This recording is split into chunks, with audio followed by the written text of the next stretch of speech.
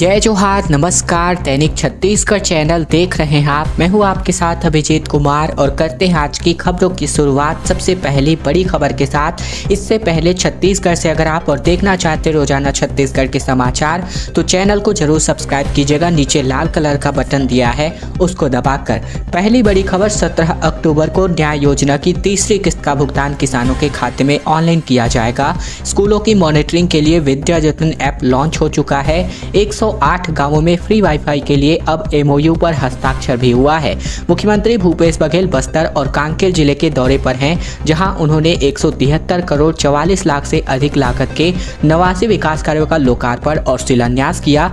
इसके साथ ही कहा है कि 17 अक्टूबर को किसान न्याय योजना की तीसरी किस्त जारी होगी। 435 ग्रामीण सचिवालय का शुभारंभ भी किया गया। तय कार्यक्रम के अनुसार सीएम बघेल जगदलपुर के मादंतेश्वरी एयरपोर्ट पहुँचे। जहाँ से सबसे पहले सीएम दंतेश्वरी मंदिर पहुँचे। पूजा अर्चना कर प्रदेशवासियों के सुख समृद्धि और खुशहाली की कामना की। साथ ही सीएम जगदलपुर के सिरहासर भवन में आयोजित बस्तर दशहरा के मुरिया दरबार में शामिल होने पहुँचे। यहाँ मांझी चालकी समेत समाज के लोगों से इन्होंने मुलाकात की। साथ ही साथ पचहत्तर दिनों तक चलने वाले विश्व प्रसिद्ध बस्तर दशहरा में बाहर रहने की रस्म अदायगी के दूसरे दिन मुरिया दरबार का आयोजन किया जाता है। पेट्रोल पंपों पर अब नहीं पहुँच पा रहा है पेट्रोल। भारत पेट्रोलियम के 250 से भी अधिक टैंकर मालिकों की हड़ताल अब भी जारी। कंपनी से नहीं बनी कोई बात अब सीएम से मिलने वाले हैं। दरअसल पूरे प्रदेश के भारत पेट्रोलियम के पेट्रोल पंपों पर पेट्रोल नहीं पहुँच पा रहा है। हालाँकि हिंदुस्तान पेट्रोलियम रिलायंस के पेट्रोल पंप का विकल्प होने की वजह से परेशानी उतनी अधिक नहीं है। मगर टैंकर मालिकों का दावा है कि उनसे जुड़े हज़ारों परिवार के सामने रोजी रोटी का संकट आन पड़ा है। दरअसल बीपीसीएल तेल और पेट्रोल टैंकर मालिकों के बीच चल रहे विवाद की वजह से 3 अक्टूबर से हड़ताल चल रही है। अब इस मामले में एक नया मोड़ आ चुका है। पेट्रोल टैंकर मालिकों की बात कई बार कंपनी से हुई, मगर कोई हल नहीं निकल पाया है। अब पेट्रोल टैंकर एसोसिएशन के पदाधिकारियों ने मुख्यमंत्री भूपेश बघेल से मिलकर इस मामले में दखल देने की मांग की और इसका मन बना लिया है। छत्तीसगढ़ पेट्रोलियम टैंकर मालिक एसोसिएशन के अध्यक्ष विनोद उपाध्याय के मुताबिक, जब तक हमारी मांगे पूरी नहीं हो जाती, तब तक तक हड़ताल यूँ ही चलती आ रहेगी। ऐसे बात करें तो टैंकर एसोसिएशन अध्यक्ष विनोद उपाध्याय के मुताबिक बीपीसीएल ने नए टेंडर में टैंकरों से पेट्रोल लाने और ले जाने का काम वर्तमान रेट से 30 फ़ीसद कम कर दिया है, जिससे टैंकर मालिकों को नुकसान उठाना पड़ेगा और बढ़ते डीजल के दामों के हिसाब से रेट में 10 फ़ीसद बढ़ोतरी होनी चाहिए। इस मांगों को लेकर लगातार हड़ताल अब भी जारी है। मुख्यमंत्री के हाथों सम्मान होगा। मेधावी छात्रों का दसवीं, बारहवीं के 125 टापरों को मिलेगा डेढ़ डेढ़ लाख रुपए और हेलीकॉप्टर की सैर। दरअसल मुख्यमंत्री भूपेश बघेल की घोषणा के अनुरूप प्रदेश में पहली बार दसवीं, बारहवीं के मेधावियों को अनोखी तरीके से सम्मानित किया जाएगा। आठ अक्टूबर को सुबह आठ बजे से मेधावी छात्रों को हेलीकॉप्टर से राइड मिलने कर मिलने वाली है और हेलीकॉप्टर में सात सीट होने के कारण केवल सात विद्यार्थी ही हेलीकॉप्टर की सैर एक समय पर कर पाएँगे। इसीलिए सभी 125 मेधावियों को सैर कराने के लिए हेलीकॉप्टर को 18 बार उड़ाना पड़ेगा। मेधावियों के अभिभावकों से माध्यमिक शिक्षा मंडल ने हस्ताक्षर युक्त सहमति पत्र मांग ली है। लगभग सभी मेधावियों ने हेलीकॉप्टर में सैर करने की इच्छा ज़ाहिर की है। प्राचार्यों से आवेदन प्रमाणित करके मेधावियों ने अपनी सहमति दे दी है। सात अक्टूबर को राजधानी के राज्य शैक्षिक अनुसंधान एवं प्रशिक्षण परिषद यानी कि एस सी शंकर नगर में सभी मेधावी छात्र पहुँच गए हैं। इसके अलावा 9 अक्टूबर की शाम चार बजे मुख्यमंत्री निवास में मेधावियों का सम्मान समारोह रखा गया है।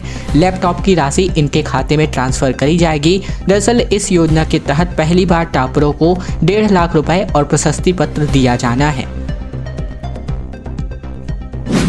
रेलवे पाँच महीने के अंतराल में करेगा सात हज़ार भर्तियाँ, जो कि पूरे छत्तीसगढ़ में होगी। देश भर में डेढ़ लाख पद भरे जाने हैं और सभी भर्तियाँ प्रमोशन अगले अप्रैल 2023 तक पूरे कर लिए जाएँगे। इंडियन रेलवे अगले पाँच महीने के भीतर, यानी अप्रैल 2023 से पहले, पूरे देश में प्रमोशन और नई नियुक्तियों से तीन लाख से अधिक पद को भरने जा रहा है, जिसमें तकरीबन एक लाख बावन हज़ार नई भर्तियाँ होनी प्रस्तावित है। बिलासपुर जोन, यानी तकरीबन छत्तीसगढ़ में ही रेलवे में लोगों को सात हज़ार नई नौकरियाँ मिलने वाली हैं। कुछ अरसा पहले इंडियन रेलवे ने बिलासपुर समेत देश भर के सभी जोन से रिक्त पदों की जानकारी मांगी थी और अब इसके बाद सभी जोन को प्रमोशन और नियुक्तियों की पूरी प्रक्रिया मिशन मोड में करने तथा अगले पाँच माह में पूरा करने का निर्देश जारी किया है। भर्ती के लिए शारीरिक परीक्षण, दस्तावेजों का वेरिफिकेशन और चिकित्सा परीक्षण समेत सभी प्रक्रियाएँ इसी अवधि में पूरी की जानी है। रेलवे में कार्यरत एक लाख अड़तालीस हज़ार अफसर और कर्मचारियों का प्रमोशन तय हो गया है। इसके साथ ही सभी प्रकार की नियुक्तियाँ मार्च अंत तक दे दी जाएँगी। रायपुर में बच्चा चोरी का हल्ला मचा हुआ है, जहाँ पर आप वीडियो के माध्यम से देख सकते हैं, दस बच्चे महिला लेकर के घूम रही थी। लोग पकड़कर ले गए थाने। एसएसपी ने इसके लिए अलर्ट जारी कर दिया है। छत्तीसगढ़ के कई हिस्सों से बच्चा चोर गिरोह सक्रिय होने की खबर आ रही है। दो दिन पहले ही भिलाई में इसी शक में भीड़ ने साधुओं पर जानलेवा हमला किया था। अब ये बवाल रायपुर पहुँच चुका है। दरअसल दोपहर गोल बाज़ार थाने के बाहर गहमा गहमी दिखी। पता चला कि यहाँ एक महिला को भीड़ बच्चा चोर समझकर लेकर के आ गई और रायपुर के एसएसपी प्रशांत अग्रवाल ने सभी थानों को चौकन्ना रहने का अलर्ट दिया है। इसी तरह की अफवाहों के बारे में भी उन्होंने जानकारी दी है।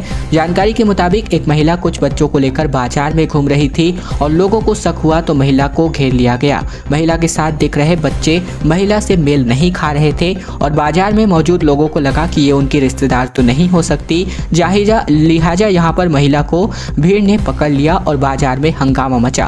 फ़ौरन पुलिस को खबर दी गई और पुलिस महिला को बच्चों समेत थाने लेकर पहुँच गई।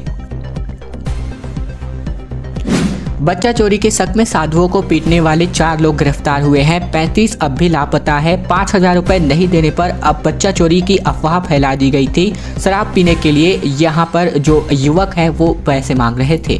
दरअसल, छत्तीसगढ़ के दुर्ग ज़िले से खबर है, जहाँ पर बच्चा चोरी के शक में साधुओं की बेरहमी से पिटाई कर दी गई थी। जिसका जो न्यूज़ है, वो हमने कवर किया था बीते दिन के न्यूज़ में। और ऐसे में हमने आपको बताया था, आरोपियों में योगेंद्र साहू उर्फ़ छोटू, सत्यनारायण चक्रधारी अधिकारी भूपेंद्र वर्मा उर्फ़ कान्हा सितेंद्र महतो शामिल है और ऐसे में 35 संदिग्धों की तलाश अब भी की जा रही है। घटना की सच्चाई जानने के लिए टीम ग्राउंड ज़ीरो पर पहुँची तो जहाँ लोगों ने आरोपियों को पहचानने से इनकार कर दिया, लेकिन सभी का कहना था कि साधुओं को बेरहमी से मारा गया। बच्चा चोरी करने का आरोप बेहद गलत है। भिलाई के चरौदा इलाके में जहाँ यह पूरी घटना हुई, वहाँ मौजूद एक शख्स ने पहचान न बताने की शर्त पर पूरा मामला विस्तार से बताया है। कलेक्टर की अध्यक्षता में अब तैयारी शुरू हो चुकी है। अंडर 23 राष्ट्रीय एथलेटिक्स 19 से लेकर के 31 तक होने हैं और ऐसे में देश भर के 1100 खिलाड़ियों को यहाँ पर प्रतिभा दिखाने का मौका मिलेगा। द्वितीय अंतर 23 राष्ट्रीय एथलेटिक्स प्रतियोगिता उनतीस से लेकर 31 अक्टूबर तक बिलासपुर में आयोजित करी जाएगी। बेहतराई के B R Yadav athletics stadium में खेल समारोह में शामिल होने विभिन्न राज्यों यूनियन टेरेटरी विभिन्न खेल तथा संघों सहित जो भी पैंतालीस संस्थान से लगभग 1100 खिलाड़ी, कोच, प्रशिक्षक और खेल अधिकारी भी इसमें शिरकत करेंगे। आयोजन की तैयारियों के लिए कलेक्टर सौरभ कुमार की अध्यक्षता में जिला एथलेटिक संघ सहित विभिन्न खेल संघों और जिला स्तरीय अधिकारियों की संयुक्त बैठक बीते दिन सभा कक्ष में संपन्न हुई और इसमें विभिन्न संघों व अधिकारियों की ज़िम्मेदारी सौंप दी गई है। बैठक में सर्वसम्मति से कलेक्टर सौरभ कुमार को आयोजन समिति का अध्यक्ष नौ पदस्थ नगर निगम आयुक्त कृणाल दुधावत को नोडल अधिकारी बना दिया गया है। महादेव ऑनलाइन सट्टा का कनेक्शन बड़ा खुलासा हुआ है। बिलासपुर के कोटा में बंद कमरे में यहाँ पर सट्टेबाजी चलती थी। 20 से 30 करोड़ रुपए का ट्रांजैक्शन पकड़ाया गया है। दरअसल दुर्ग पुलिस ऑनलाइन सट्टा के खिलाफ लगातार कार्यवाही कर रहा है। जगदलपुर और छिंदवाड़ा के बाद अब बिलासपुर के कोटा क्षेत्र से एक ब्रांच का पर्दाफाश हुआ है। पुलिस ने यहाँ से चार आरोपियों को गिरफ़्तार किया है। इनसे करोड़ों रुपए के ऑनलाइन सट्टे के पैसे के लेन देन का खुलासा किया गया है। पुलिस ने आरोपियों के पास से छब्बीस मोबाइल, दो लैपटॉप दो ब्रॉडबैंड और दो लैपटॉप चार्जर सहित 24 एटीएम कार्ड 23 चेकबुक तीन पासबुक और 10 मोबाइल सिम बरामद किए हैं। दुर्ग एसपी डॉक्टर अभिषेक पल्लव के मुताबिक दुर्ग ज़िले में महादेव ऐप, रेड्डी अन्ना और अन्य ऑनलाइन सट्टा ऐप का जाल तेज़ी से फैल रहा है और इस पर लगाम लगाने के लिए दुर्ग एसपी ने एसएसपी सिटी संजय स्वरूप उप पुलिस अधीक्षक नगर सिद्दीकी के नेतृत्व में एक विशेष टीम का गठन किया है।